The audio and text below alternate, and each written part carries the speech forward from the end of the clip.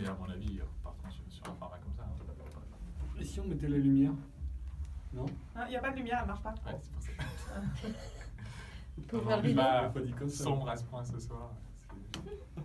Ah, dans 10 secondes. 5 secondes.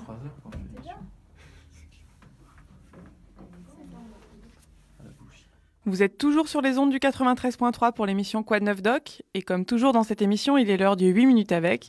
Je laisse mon micro à Arthur qui est allé faire le tour des labos clermontois pour nous présenter une doctorante avec un profil encore différent des profils précédents.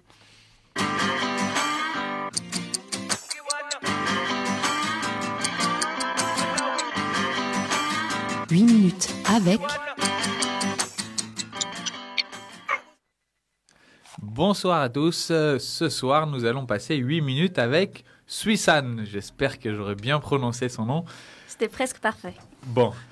Donc, pour une fois, on va recevoir une euh, doctorante étrangère. Euh, c'était, il était temps de le faire. Euh, il faut savoir que 50% des doctorants sur le bassin clermontois sont étrangers. Donc, euh, ne serait-ce que pour un peu de représentativité. Nous allons parler, du coup, euh, de la Chine en particulier. Donc, je vais laisser, comme euh, on a l'habitude, de Suissan se présenter. Hein, elle est doctorante en géographie, comme l'a dit Barbara. Et donc, euh, nous expliquer un peu son parcours, comment euh, de Chine elle est venue faire un doctorat en France. Bonjour à tous. Euh, moi, je m'appelle euh, Cui Can. Donc, Can, c'est mon prénom. Ah, là, c'est mieux comme ça. Cui, c'est le nom de famille. Et d'habitude, en Chine, on met le nom avant le prénom. Donc, ça fait Cui Can. Mais sinon, en France, c'est Can Cui. Voilà. Là, en ce moment, je suis en géographie euh, sociale. Je suis en deuxième année de thèse au CERAMAC. Et euh, je, je travaille sur une thèse. le terrain de thèse est sur la Chine, sur une ville chinoise qui s'appelle Yiwu. À l'origine, j'avais fait une licence et un master dans le département de français, dans la langue et littérature française. Mais euh, j'étais pas vraiment très intéressée par la, littérature ni linguistique et du coup j'avais choisi plutôt une voie euh, sociologique. Donc en licence, j'avais fait un mémoire sur euh, les travailleurs chinois en Afrique et en master, j'avais fait un mémoire sur euh, les étudiants africains dans des universités chinoises.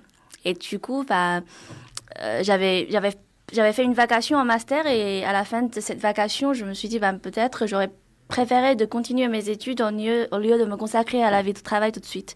Et c'est pour ça que j'avais pensé à faire une thèse. Et vu que je parlais déjà français, je me suis dit bah, pourquoi pas en France? Et à ce moment-là, il y avait une coopération entre l'université Blaise Pascal et l'université de Wuhan où j'ai fait la licence et le master. Et c'est comme ça que je suis venue à Clermont-Ferrand. D'accord. Et alors, pour. euh, Est-ce que tu peux nous dire deux mots sur ce que tu penses de, des, des étrangers qui viennent faire un doctorat à Clermont? Si tu t'es trouvé bien intégré, s'il y avait des difficultés Est-ce que tu retournes souvent en Chine ou pas? Enfin, nous dire un petit peu. ce que Oui, c'est de- sûr. Ben, au début, c'est très, très difficile parce que déjà, euh, en tant qu'une étrangère, d'être dans un pays que tu connais pas et que tu parles pas forcément très bien la langue, déjà, c'est pas très évident dans la vie quotidienne parce que déjà, enfin, je viens pas d'Allemagne qui ressemble quand même énormément à la France.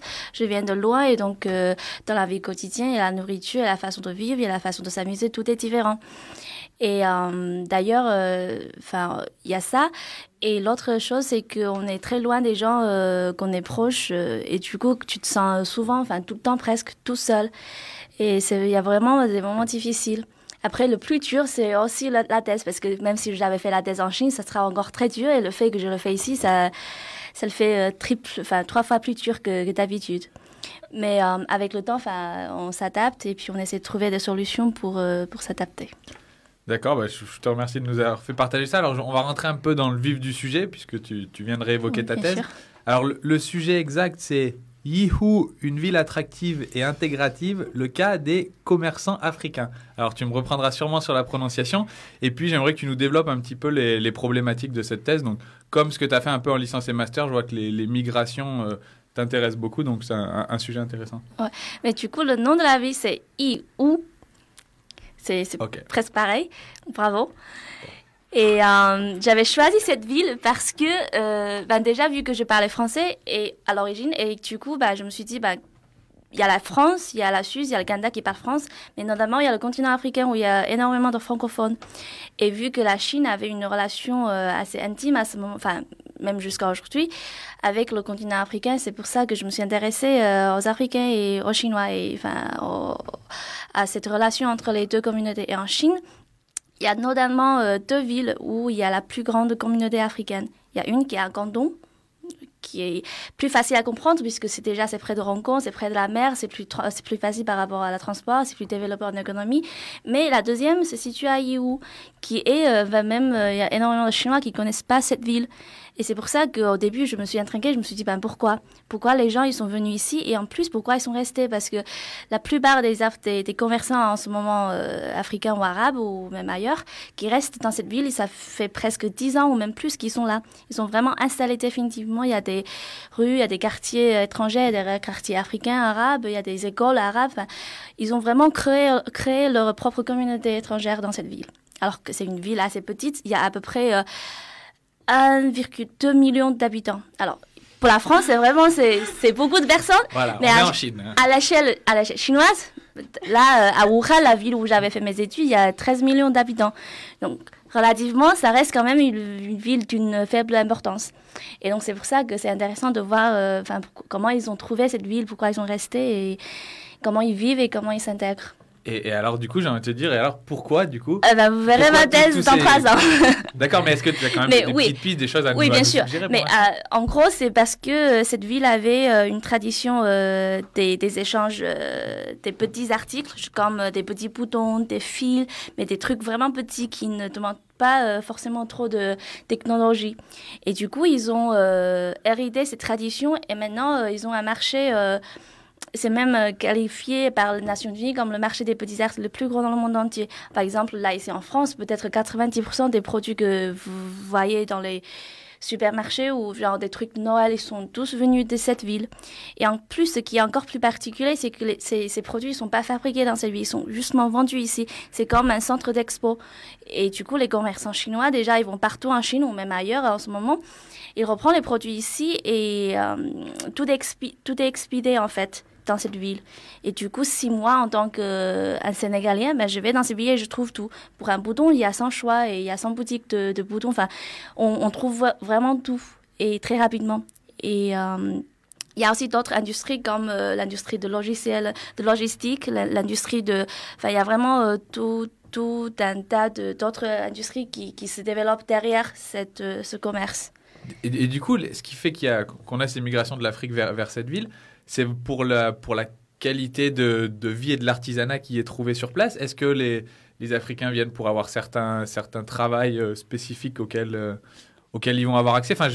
Là, je comprends l'attractivité vraiment de cette ville, mais pour avoir vraiment ce mouvement d'Afrique en Chine, ça me paraît ça me- Bah, a- du coup, enfin, puissant. quoi. Le premier euh, étranger qui est devenu, c'était en Afghanistan, parce que justement, il y avait la guerre et du coup, il est sorti de son pays. Et petit à petit, c'était vraiment les Arabes qui sont venus de premier euh, dans cette ville. Et après, ces, ces Arabes, ils ont, euh, ils ont amené des Maghrébiens. Et du coup, ces Maghrébiens, ils ont amené des, des Africains qui, qui est plutôt au sud de l'Afrique. D'accord, je pense un beau modèle d'immigration dont on devrait peut-être un, un- un peu s'inspirer s'inspirer de nos jours. Alors, je te remercie pour le détail de ton sujet thèse. Peut-être dans le, le peu de temps qui nous reste, euh, sur le, après la thèse, comment tu vois un peu les choses? Est-ce que déjà tu as envie de rester en France ou en Europe? Est-ce que tu as envie peut-être de retourner en Chine? Et comment tu vois un petit peu la, la suite après cette thèse? Ben, du coup, pour le lieu, je, j'ai même, enfin, je sais pas. La première, la première semaine où je suis arrivée en France, je me suis dit, ben, il faut absolument que je rentre en Chine parce que je peux pas, je peux pas rester ici. Mais c'est vrai qu'avec le temps, je commence à m'habituer, je commence à aimer même euh, la vie ici, et donc euh, je me suis dit, ben, pourquoi pas. Mais après, ça reste parce que j'imagine que c'est difficile de trouver un boulot universitaire ici. Et est-ce que tu rentres souvent en Chine, que ce soit euh, à Wuhan où tu as fait tes études ou à Hihu, du coup, pour, pour ta thèse euh, Alors, du coup, c'est. Wuhan où j'ai fait mes études et où je travaille sur ma thèse. Mais moi, j'habite à Hangzhou, qui est euh, dans une troisième ville. Donc, mais sinon, euh, quand je rentre, je fais souvent les trois.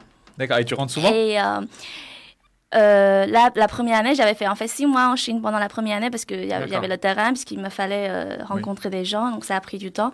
Mais à partir de ce moment, euh, là en ce moment, je rentre justement trois mois en juin, ça aussi pour la thèse. Mais après, je, commence, je, je pense à rester quand même en France pour pouvoir faire la rédaction tranquillement. Super, et ben écoute, on arrive à la fin de cette chronique. Euh, Swiss One, je te remercie. Et puis nous allons écouter la musique que tu as choisie, Never Say Never de The Fray.